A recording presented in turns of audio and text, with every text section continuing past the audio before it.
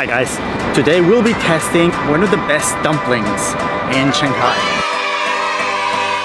It's a little hole in the wall. It's one little secret of Shanghai, although you can't find it in the Michelin guide. But it's a hole in the wall and it's totally worth it. You guys are gonna love it. Yes.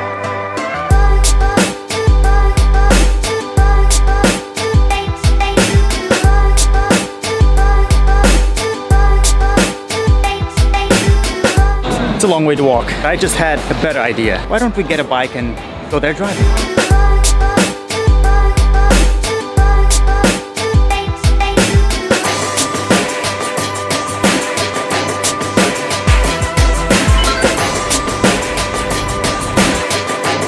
I was tired of walking. It was a little bit impulsive, but we got a couple of bikes. Let's enjoy Shanghai.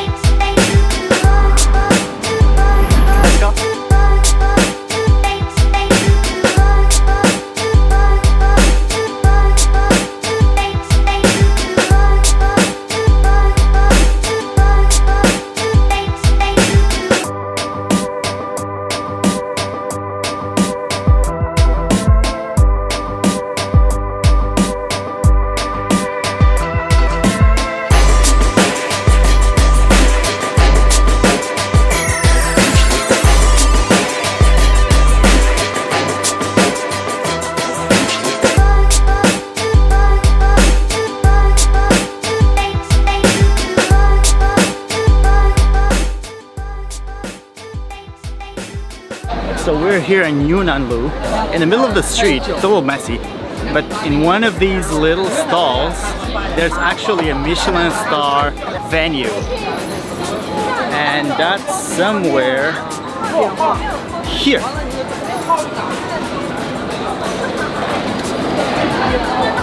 Number 89. Let's see what they have.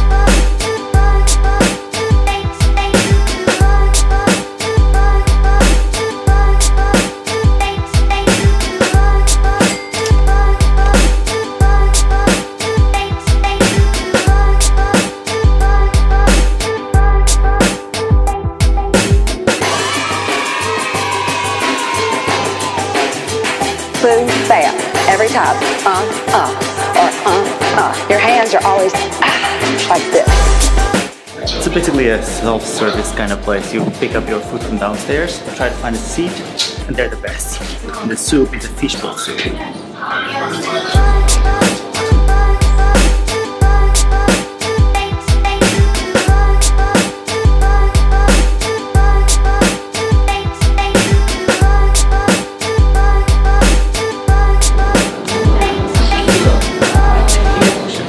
Tim Cook has been here.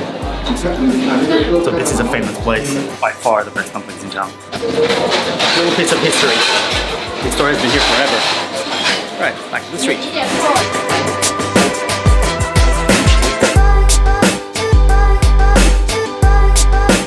So in this street in Yunanlu, you can eat pretty well. The prices are very inviting.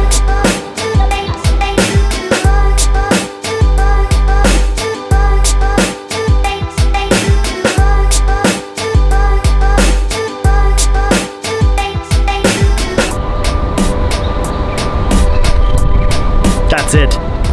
This was the impulsive buy of the day. It makes a lot of sense to drive around Shanghai in moped.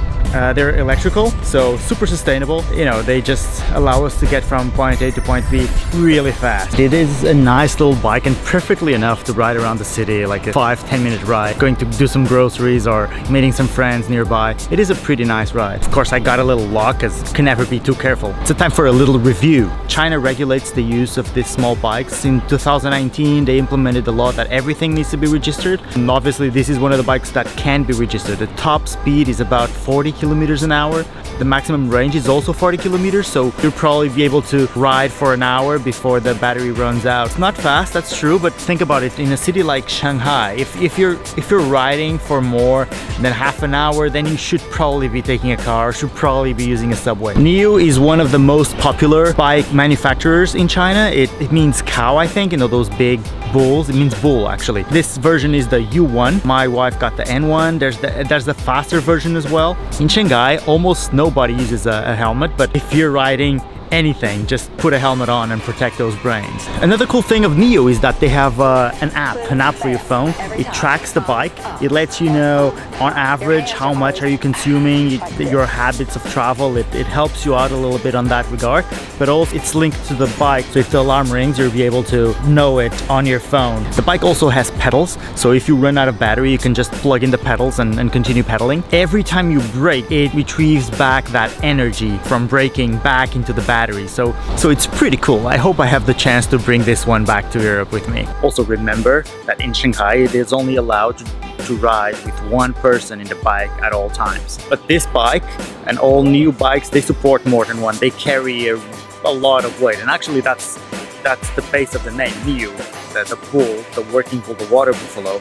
Uh, it's supposed to carry a lot of weight. So it's, it's a working beast. So what was the price, right? That's the last question. This one retails for about 4,000 yuan, which should be about 500 bucks. I'll drop the price below.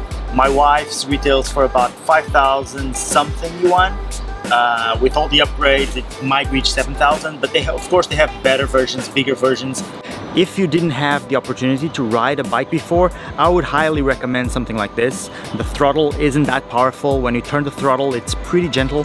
So it's, it's perfect. I mean, if you want to ride around the city, enjoy the city to the fullest, something like if you live in a compact city like Shanghai, you have a lot of stuff that you want to do nearby, you want to ride everywhere, you, you don't want to be calling a cab or an Uber all the time, this is probably the best way to do it. Glad that I could show you a little bit more about Shanghai. I'll try to do it more often.